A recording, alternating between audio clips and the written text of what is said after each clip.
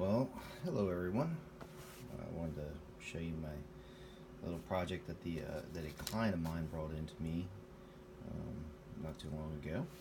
And what we have here is a Microsoft Zune player. And it's 120 gigabyte, and the hard drive's bad one. And so, what we're going to do is swap out that hard drive, and what we're going to replace it with is this nice new zero insertion force 128 gigabyte solid state hard drive. What's this? What this is going to do is allow it to transfer music a lot faster, of course, because it's solid state. It's not mechanical, um, and it's going to extend the battery life probably about at least 30, maybe 40 percent, is uh, what I read on the internet uh, from people who have uh, upgraded to the solid state hard drives. So um, I'll get started and we'll check back in. Okay, so I've gone and removed the uh, hard drive. This is the original Samsung hard drive that came with the, uh, the Zune player. Uh, yes, I realize that the Zune player is 2017 and Microsoft no longer supports Zune, but that doesn't take away from the fact that Zune, out of the box, actually had better audio than the iPod Classic and certainly better than the um, iPods. Um, they just had a, a, much a far superior sound to them um, with no tweaking. Now, obviously, iPods can be tweaked, uh, particularly iPod Classic. Uh, they can be tweaked and the circuits re, uh, refiltered, uh, and you can have much superior audio than the Zune stock. But in the meantime, we have our ZIF drive. This is what we're here to do. We're going to get it in and then we have to do some magic so that we can update the firmware because Microsoft quit um, any support for it. So we have to you know not quite magic but certainly um, maybe some uh, hacking voodoo to get the firmware reloaded back onto this drive here. Um, and of course doing this we can't transfer the music off of this one onto this one um, because I, don't have a ZIF adapter, although I assume that I probably could clone the two. Um, uh, so your music has to be obviously re-uploaded to it, but again, that's going to be a mighty fast task. Uh, the only limiting factor is going to be uh, the, the, the USB 2 um, because it's not USB 3, obviously, because uh, this thing is pretty old. So, all right, let's get her back together and closed up. Okay, so we're back here updating the firmware, and it's actually going on, but I'll try to do a little bit of an explanation of how I, uh, how this happens. So, first things first is you you have to edit your host file. So on Windows, if you don't know where it is, it's at C or Windows 10, and well, since Windows XP or actually Windows 2000, you're going to go to uh, C Windows System 32 drivers etc. etc. You'll have your host file um, and then we're just going to uh, edit it. We'll go to Notepad, right? Or, yeah.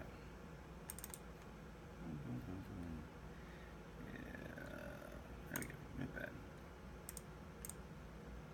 And in Notepad, you're going to um, redirect all local traffic for uh, resources.zune.net because Microsoft no longer uses this. They've shut down that service you're going to redirect it to um, your local host, so 127.0.0.1. And save the file, close it, and then boom, boom, boom, you'll have to go on and download the um, the Zune update. Um, there's a file out there, Zune update, uh, unzip it into a directory, and it doesn't really matter where you put it. Now, if you're me and or, or, you're like me, I don't like having you know a, a web server running in the background um, and starting up all the time. So I just simply use Python, uh, Python, version three. Um, if you install Python, um, I use a, use an awful lot.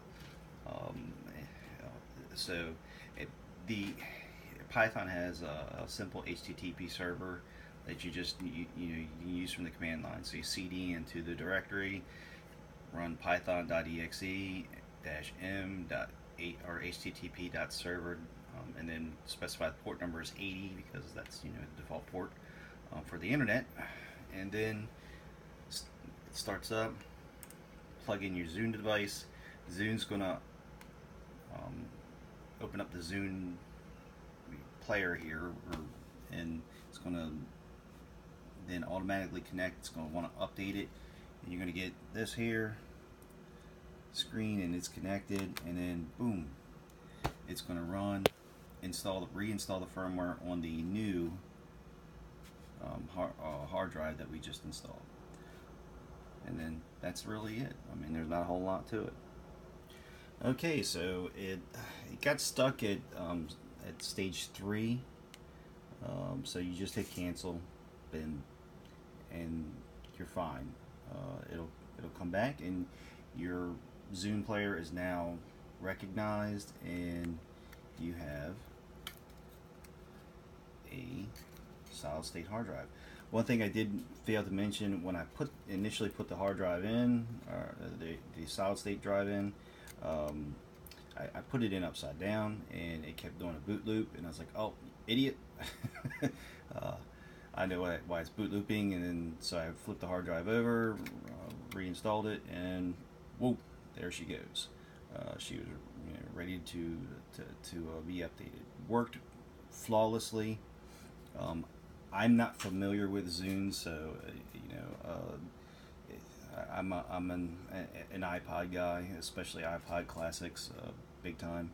Um, but uh, I'm, I'm, impressed. Uh, you know, Microsoft did a great job with it. This is the first time when this customer came in, handed this to me. It was the first time I'd ever actually held a Zune player.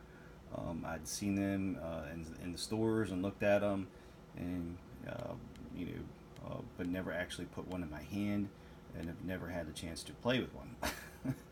um, that being said, uh, I, I, was really impressed. I'm, I'm, I'm, impressed with the build quality. Uh, and it stinks that uh, this thing never got off the ground, um, and Microsoft got a bad, um, or it just they just didn't get their act together to compete with Apple.